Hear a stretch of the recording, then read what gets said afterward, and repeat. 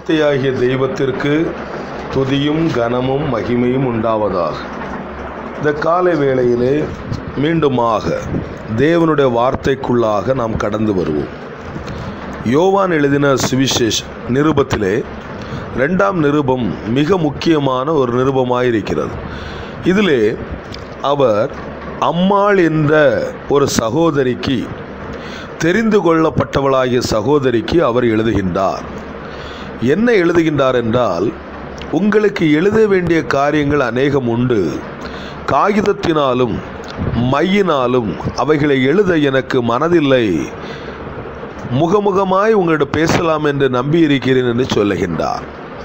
இந்த அதிகாரத்தை வைத்து பார்க்கும் பொழுது வசனத்தை வைத்து பார்க்கும் பொழுது மிக அவசியமான மிக முக்கியமான காரியங்கள் எல்லாம் வேதத்திலே எழுதப்படாமல் நேரடியாக சொல்லப்பட்டிருக்கின்றன என்பதை நாம் புரிந்து கொள்ள வேண்டும்.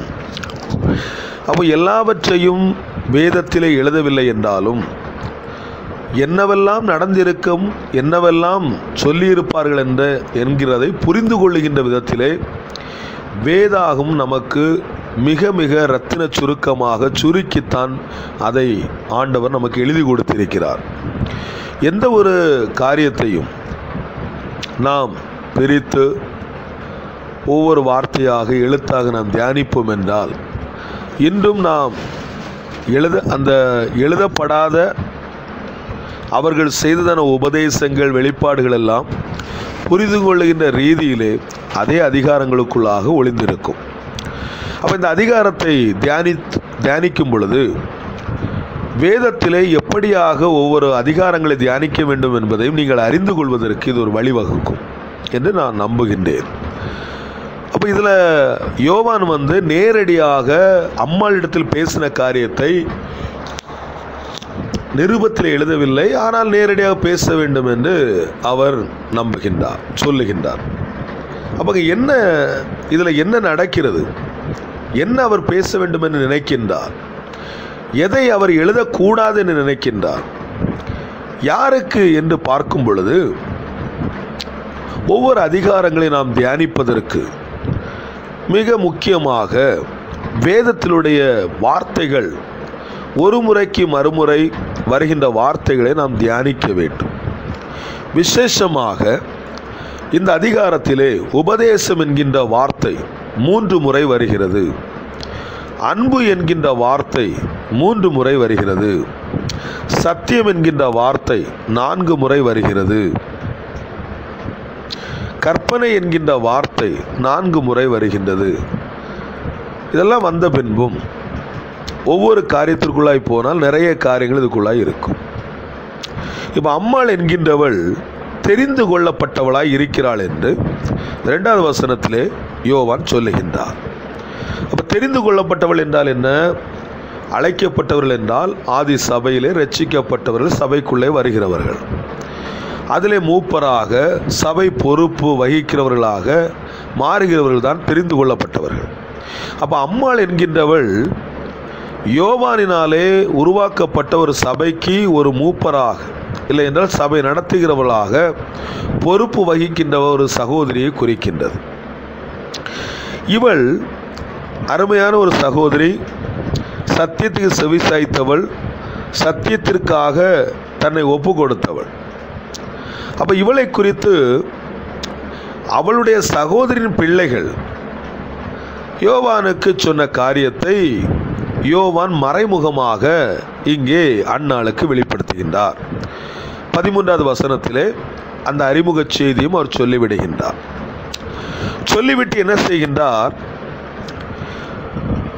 உருவாக்கப்பட்ட சபைக்குள்ளாக இன்று அம்மாளை நீ நடத்துகின்ற சபைக்குள்ளாக அன்பு இல்லை ஐக்கியம் இல்லை நான் இது வந்து புதுசாக சொல்லலை. இது ஆதிலேருந்தே ஆண்டவர் சொல்கிற ஒரு கற்பனை தான் ஒரு ஞாபகப்படுத்துகிறேன் அப்போ இந்த அன்பு ஏன் இல்லை? அஞ்சாவது வசனத்தில் சொல்கிறாரு அம்மாளே அன்பு ஏன் இல்லை? அப்படின்னு பார்க்கும்போது ஏழாவது வசனத்தில் அது சொல்கிறாரு மாம்சத்தில் வந்த இயேசு கிறிஸ்துவை அறிக்கை பண்ணாத அநேக வஞ்சர்கள் உலகத்தில் தோன்றியிருக்கிறார்கள். இப்படிப்பட்ட மக்களோடு அம்மாள் தன்னுடைய சகவாசத்தை ஐக்கியத்தை ஏற்படுத்தி கொண்டாள். ஆகையினால இப்படிப்பட்டதான கள்ள உபதேசம் செய்ததானவர்கள் இயேசுவை மாம்சத்தில் வந்த தெய்வம் அல்ல என்று அறிக்கை பண்ணுகின்ற மாம்சத்தில் வந்த இயேசு கிறிஸ்து தெய்வம் என்று சொல்லாத ஒரு கூட்டம் வஞ்சக கூட்டம் அந்தி கிறிஸ்துவின் கூட்டம் அவள் சபைக்குள்ளாய் நுழைந்திருக்கிறது. சத்தியத்தை செவிசாய்த்த அவள் சத்தியத்தை கீழ்ப்படிந்து இருந்த அவள் பிற்காலத்திலே சபைக்குள்ளாக ஊழியத்திலே விழுந்து போனதை நாம் பார்க்கின்றோம். இது யோவானுடைய காதுகளுக்கு செல்லுகின்றது. யோவானுடைய காதுகளுக்கு யார் கொண்டு போகிறார்கள் என்றால் அவருடைய சொந்த சகோதரி பிள்ளைகளை கொண்டு செல்லுகிறார்கள். அப்போ அது அவருக்கு மிக வேதனையாக இருக்கிறது. அப்போ அவளை திட்டவும் முடியலை. அதே நேரத்தில் கடிந்து கொள்ளாமல் இருக்கவும் முடியலை. என்ன பண்ணுறதுனே புரியாமல் அவர் வாழ்த்துதல் சொல்லி சொல்லியே அவர் புத்தி சொல்கிறத பார்க்கும்போது யோவான் எவ்வளவு அருமையானவர் என்பதை ஊகித்து பார்க்க ஆச்சரியமாக இருக்கிறது. இந்த நிலை நாம இருந்தால் ஒரு உபதேசம் செய்கின்ற ஊழியக்காரனாக ஒரு சபையை ஏற்படுத்தி கொடுத்துவிட்டு விட்டு நடக்க வேண்டும் என்று சொல்லி தன்னுடைய பிள்ளைகளுக்கு சொல்லிவிட்டு ஒருவரை ஏற்படுத்திவிட்டு சென்றால் ஊழியக்காரர் நமக்கு தெரியாமல் இப்படிப்பட்ட கூட்டத்தை உள்ள வரை வர வைத்து சபையை நாசமாக்கி சபையில் இருக்கிற ஐக்கியம் சமாதானம் எல்லாவற்றையும் துரத்திவிட்டு காணப்படுகிறதான இந்த அன்பில்லாத ஒரு காரியத்தில் போகும் பொழுது கண்டிப்பாக நாம் இருந்தாலும் கோவப்பட தான் செய்வோம். அவர் உடனடியாக சபையை விட்டு வெளியேற்றுன்னு தான் நினைப்போம். ஆனால் யோவன் சொல்கிறாரு தெரிந்து கொள்ளப்பட்டவளுமாகிய அம்மாளுக்கும் அவருடைய பிள்ளைகளுக்கும் மூப்பனாகிய நான் எழுதுகிறதாவது. சத்தியத்தோடும் அன்போடும் கூட உங்களோடு இருப்பதாக சொல்லி பிதாவாகிய தேவனாலும் பிதாவாகிய குமாரனாலும் பிதாவின் குமாரனாகிய க- கர்த்தராகிய இயேசு கிறிஸ்துவினாலும் கிருபையும் இறக்கும் சமாதானம் உங்களோடு இருப்பதாக என்று சொல்லுகிறார்.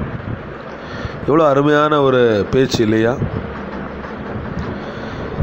பேசிட்டு மெல்ல சொல்கிறாரு எட்டாவது வசனத்தில் வரும்போது உங்கள் செய்கைகளின் பலன் இழந்து போகாமல் பூரண பலனை பெறும்படிக்கு எச்சரிக்கையாயிருங்கள்.